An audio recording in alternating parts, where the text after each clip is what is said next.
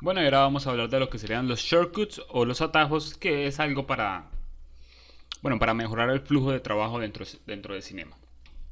Así que vamos a, vamos a crear un cubo, como por tener algo en la escena.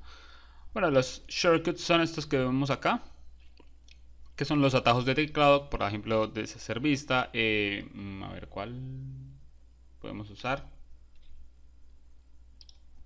Vamos a mover esto por acá. Y vamos a colocar la geometría en todo el centro de la pantalla. Voy a moverlo. Vamos a colocar este cubo en todo el centro de la pantalla. Lo podemos hacer con esta herramienta de encuadrar geometría con Alt H más H. Y el cubo va a quedar directamente dentro de esa geometría.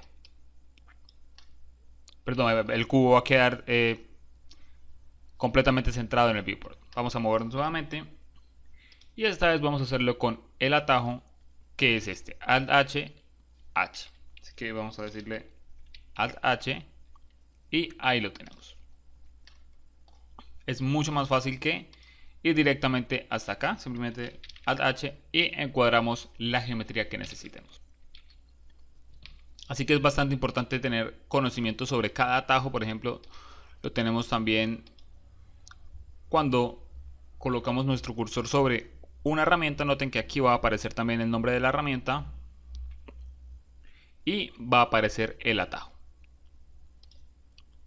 Así que por ejemplo, cuando no tenemos un atajo es porque esa herramienta, por ejemplo, aquí tenemos un atajo, dice atajo de teclado mayus más S, este es mayus más X. Cuando no tenemos un atajo simplemente no va a aparecer. El de aquí creo que es C. Así que para convertirlo en un objeto editable, podemos o dar clic acá o simplemente decirle C y lo convertimos en un objeto editable. Ahora voy a aumentar un poco los segmentos. Vamos a aumentar los segmentos de este cubo. Pero ya sabemos que por defecto no tenemos una vista que nos permita ver los segmentos. Así que necesitamos mostrar esos segmentos. Y para ello tenemos que ir al panel mostrar y elegir qué tipo de sombreado necesitamos. Pero noten que aquí tenemos una serie de atajos, todas son con N, así que vamos a hacerlo por los atajos. Para empezar a ahorrar tiempo, le decimos N y vamos a buscar el que diga sombreado rápido en líneas, que sería la D. Así que simplemente, ah, perdón, me demoré demasiado tiempo, ND y automáticamente empieza a mostrarme cada uno de los segmentos que componen ese cubo. Así que es bastante importante conocer todos los atajos. Vamos a buscar qué más atajos hay.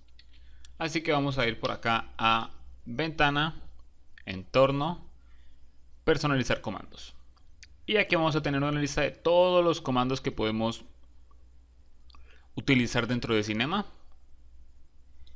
Tenemos el nombre, tenemos una pequeña información y tenemos el atajo de teclado. Como pueden ver esta casilla está completamente vacía porque ninguno de estos comandos tiene un atajo. Vamos a buscar alguno que tenga atajo. Por ejemplo este de aquí. Abrir. Bueno, el, comando abrir un archivo. Que por lo general cualquier programa siempre va a tener control O. O por ejemplo guardar. Vamos a escribir. Tenemos un filtro por nombre y tenemos un filtro por atajo. Así que vamos a escribir por ejemplo guardar guardar el proyecto activo que se cerrará, control S de S por save, guardar en inglés, que es, en la, que es igual en casi la gran mayoría de programas, sea de lo que sea. Así que aquí tenemos una gran lista, por ejemplo tenemos los cuatro viewports, los diferentes modelos de viewports que podemos trabajar. Por ejemplo, vamos a, por ejemplo, vamos a escribir cubo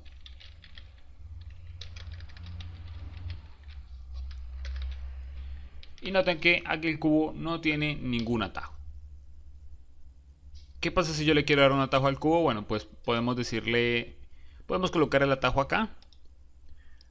Pero necesitamos saber si ese atajo no existe aún. Así que, por ejemplo, vamos a escribir acá por filtro, control C para crear el cubo y control C si existe, que es el comando copiar. Así que no nos sirve. Vamos a escribir shift C y también está ocupado, así que vamos a escribir mejor Alt C.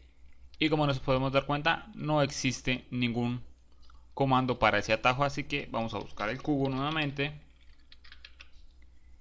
Y acá en atajo de teclado voy a decirle Alt C y asignar. Ahora noten que acá tengo el atajo de teclado. Para el cubo Alt C. Ejecutar. Y he creado un nuevo cubo. Acá lo tengo. Muy bien. Así que voy a decirle Alt C y ahí tengo mi cubo. Pues la verdad no prefiero no dejarle ese atajo. Voy a quitarlo pero bueno, ustedes pueden trabajar con los atajos de la forma que ustedes quieran, modificarlos si ustedes quieren y colocarle atajos a los comandos que necesiten. Así que voy a decirle eliminar y listo. Y bueno, eso era todo acerca de los atajos. Es una forma bastante importante de trabajar para ahorrar tiempo, para no tener que estar yendo de menú en menú buscando cada uno de los comandos. Es importante conocer los atajos de cada uno de ellos.